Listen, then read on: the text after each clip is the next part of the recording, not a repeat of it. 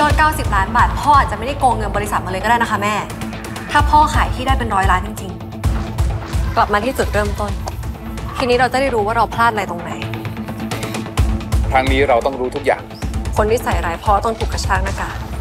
พ่อต้องได้รับความเป็นธรรม ตอนนั้นถ้านายอยู่ห้องนี้ นายหมดทำอะไรอยู่วะการนายตั้งใจเอาเงินไปล้างความผิดให้ตัวนายเองนี่มันมันไม่เห็นแก่ตัวใต้หน่อยเหรเงาอวะตะวัน คืนนี้ 20 นาฬิกา 30 นาที ดูทีวีกด 33 ดูมือถือกด3 plus